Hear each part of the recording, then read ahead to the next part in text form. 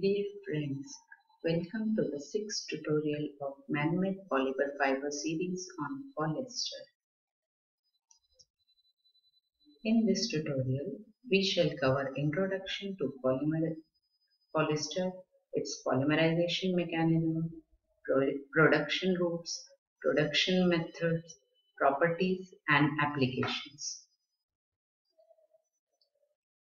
At the end of this tutorial, students will be able to write the equations for formation of polyester polymer, list the production methods of polyester, explain the continuous process for production of polyester, list the properties of polyester, and give examples of applications of polyester.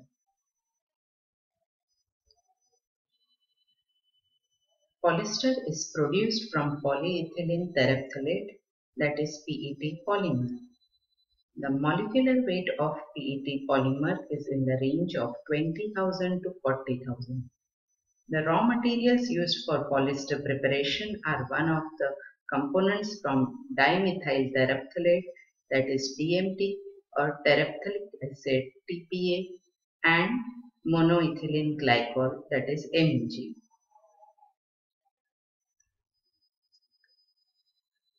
Polyester production can be carried out from two routes. One using purified terephthalic acid and second using dimethyl terephthalate.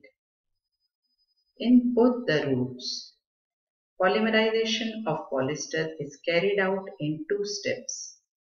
Step 1 is referred as transesterification or direct esterification in which prepolymer diglycol terephthalate is formed.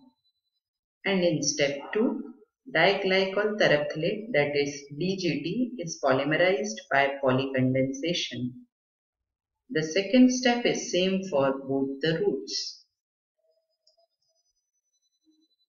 This slide shows both the steps of polymerization reaction for polyester.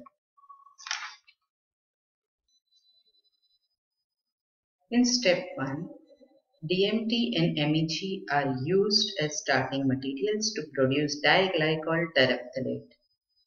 This is transesterification or esterification process. In step 2, DGT is polymerized by polycondensation to produce polyester polymer and ethylene glycol. This is polycondensation reaction. The step 2 remains same for both DMT and TPA route.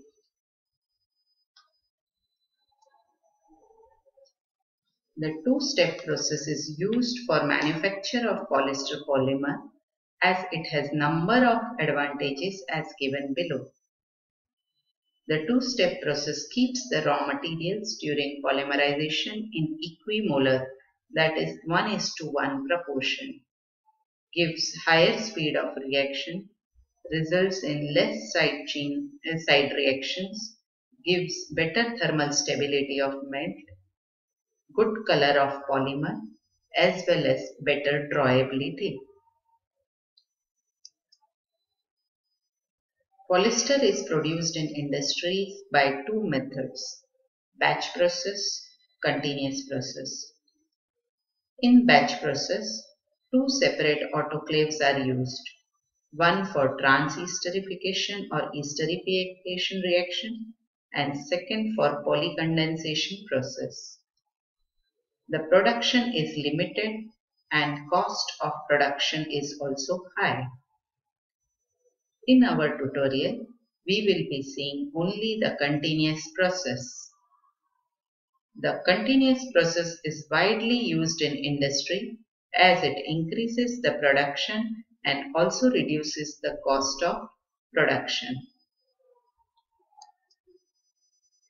In continuous process, both the steps for preparation of polyester polymer are carried out in sequence the cost of production further reduces drastically on synchronizing continuous polymerization with direct spinning for producing polyester filaments. This is referred as integrated process.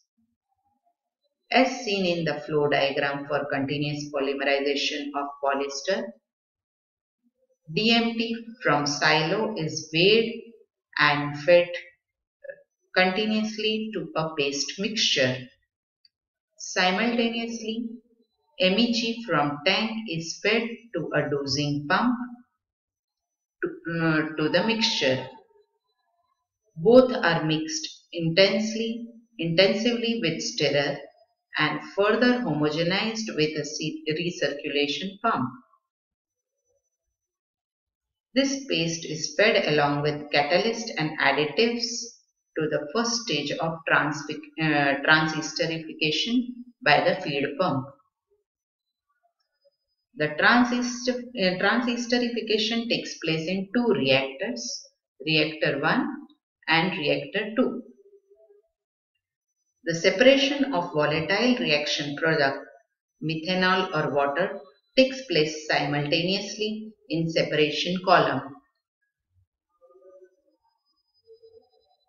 Transesterification continues in second stage till desired degree that is almost 100% is achieved. The product is fed to the first stage of three-stage continuous polycondensation apparatus. The first stage is designed as flasher and the other two stages consist of disk reactors. Polycondensation material is transported between the three stages by pressure difference and gravity. The vacuum pumps help to attain the pressure and monoethylene glycol vapors. The polyester polymer obtained from last polycondensation uh, stage is processed either to chips or directly to fiber or filaments. The polyester filaments are produced from PET chips using melt spinning process. As we have covered the melt spinning process in tutorial 5 on nylon, we shall not be repeating it over here.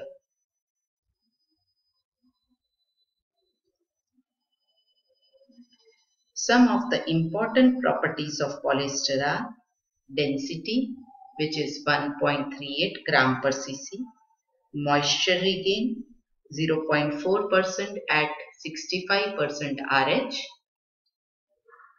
breaking tenacity 3 to 10 grams per denier, softening temperature 225 to 230 uh, degree centigrade, melting temperature 255 to 265 degree centigrade.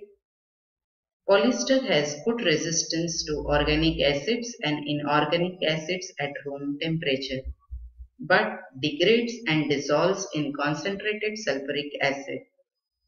This is used as one of the identification methods for polyester.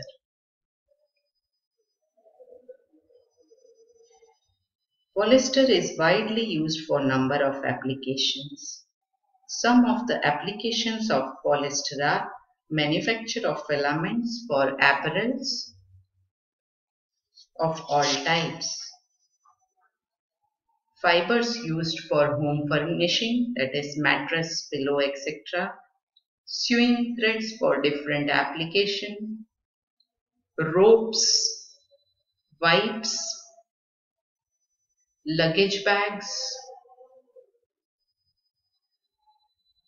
polyester film to name a few of the applications.